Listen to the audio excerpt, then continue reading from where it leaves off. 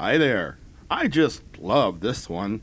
This historic film has been touted as being evidence of Nephilim and other such things. Some claim that the film is from the early 19th century, you know, decades before the invention of film photography. Others say that it's a film from the Second World War showing the results of some genetic Superman experiment. Or it could be this.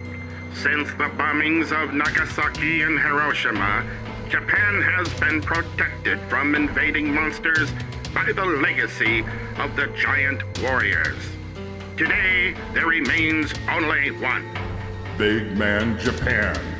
It's an outrageous portrayal of an original superhero. As uh, Big Man Japan, Daisato inherited the role of defending Japan against a host of bizarre monsters.